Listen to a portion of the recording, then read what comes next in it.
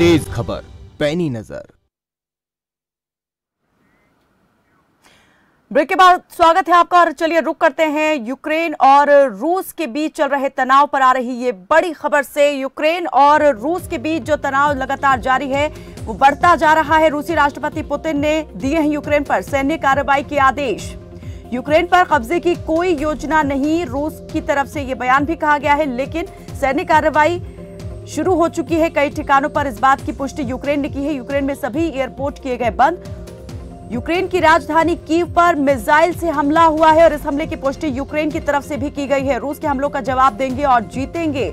Ukraine की तरफ़ से ये बयान। यूक्रेन के राष्ट्रपति ने देश में इमरजेंसी की घोषणा कर दी है। युद्ध को टालने के लिए हथियार डाले यूक्रेन की सेना। रूस की ये चेतावनी। बीच में आने वाले देश के खिलाफ भी करेंगे जवाबी कार्रवाई।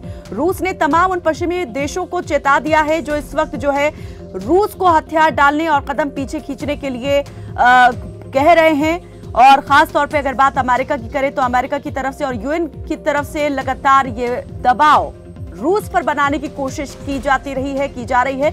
लेकिन रूस ने साफ़ कर दिया है कि जो पहले नहीं हुआ था वो अब होकर रहेगा।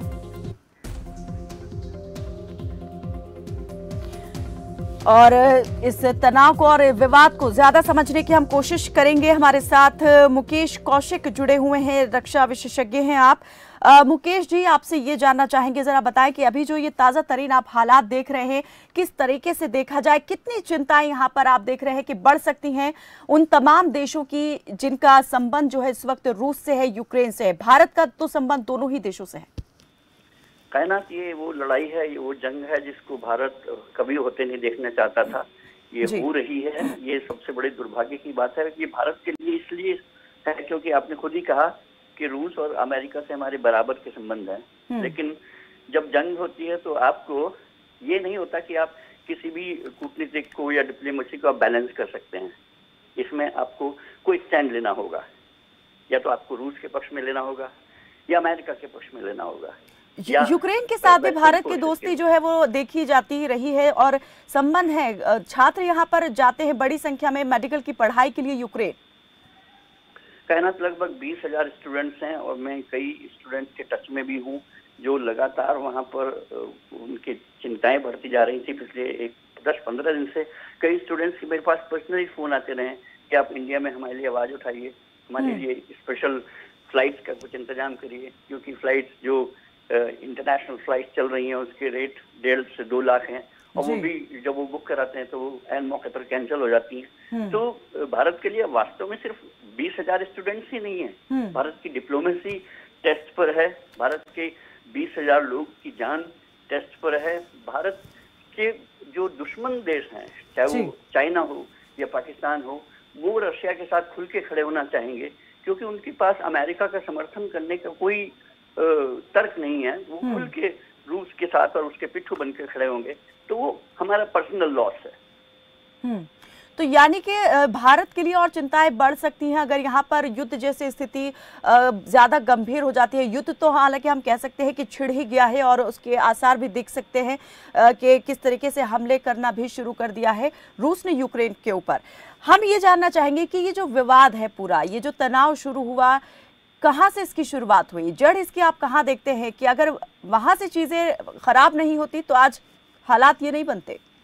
नहीं दरअसल जो युद्ध के हालात हैं वो तो 2014 से ही बने हुए हैं। जब क्रीमिया पर यूक्रेन के हिस्सा जो क्रीमिया है उस पर पुतिन ने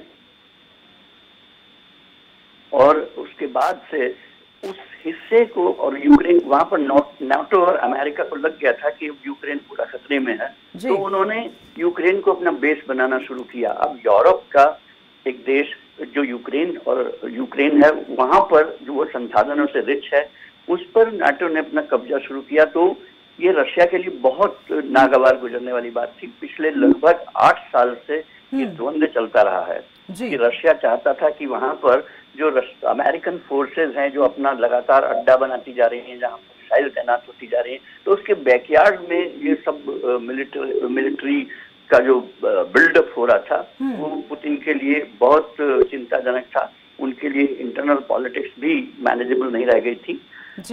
और उसके बाद जो स्पेशली जब कोविड आया और ये पैंडमिक फैली तो हर देश थोड़ा कमज़ोर हुआ है। और सिर्फ़ कमज़ोर नहीं हुआ है शासक कमज़ोर हुए हैं और वो अपनी कमज़ोरी को अपनी मजबूती में बदलने के लिए बॉर्डर क्या अब ये देखा जाए कि ये फिर से महाशक्ति बनने के लिए युद्ध करने वाला ये जो है मामला शुरू हो गया है या ये महाशक्ति बनने का युद्ध है? हाँ दरअसल मैं आपसे सहमत होना चाहूँगा इस पर क्योंकि पिछले दो दशक से महाशक्तियाँ वही बनने की प्रोजेक्शन में हैं। जो कोई ना कोई युद्ध लड़ते रहे हैं। पिछले दो दशक में जो भी युद्ध लड़ा हो उसमें कहीं ना कहीं अमेरिका शामिल था।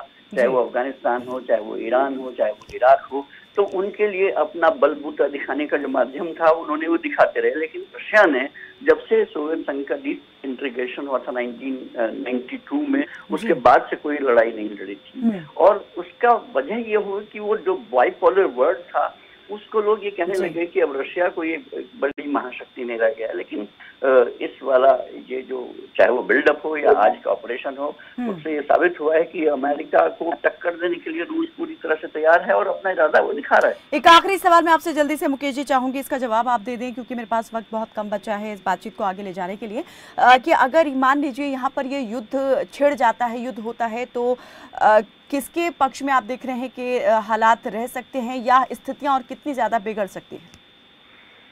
देखिए मुझे आज की डेट में मैं कुछ भी कमिट नहीं करना चाहूँगा क्योंकि बाइडन हो या नेटो देश हो या, या पश्चिमी देश जितने भी हों उन्होंने जब यूक्रेन पर की मंशा पुतिन की झलक रही थी कि वो युद्ध करने वाले हैं तो उन्होंने बहुत कुछ ऐसे बयान दिए थे कि ये हम्म। सीधे सीधे टकराव होगा रशिया उसके लिए रिस्पॉन्सिबल होगा अब इस अगर उन्होंने ये युद्ध छिड़ गया है उसकी फोर्सेज ने वहाँ पर इम्पाउंडिंग शुरू कर दी है वहाँ पर एंट्रिंग हो गई है तो अब उनको अपने बयानों को सपोर्ट करना होगा और बयानों को वो कितना सपोर्ट करते हैं इस पर युद्ध का सीवियरनेस डिपेंड करेगी कि वो इसको कितना रिस्पॉन्ड करते हैं या तो वो यूक्रेन को छोड़ दें कि वो अपना लड़ाई खुद लड़ ले हम्म। और रशिया उस पर कब्जा कर ले और अगर ऐसा वो नहीं होने देते हैं तो ये एक महायुद्ध बिल्कुल महायुद्ध के मुहाने पर हम कह सकते हैं कि दुनिया यहाँ पर खड़ी हुई है। बहुत शुक्रिया कौशिक जी हमारे साथ इस बातचीत में जुड़ने के लिए। फ़िलहाल के लिए मेरे साथ बस इतना ही। आप देखते रहे खबर फास्ट। नमस्कार। आप देख रहे हैं खबर फास्ट। तेज खबर पैनी नज़र।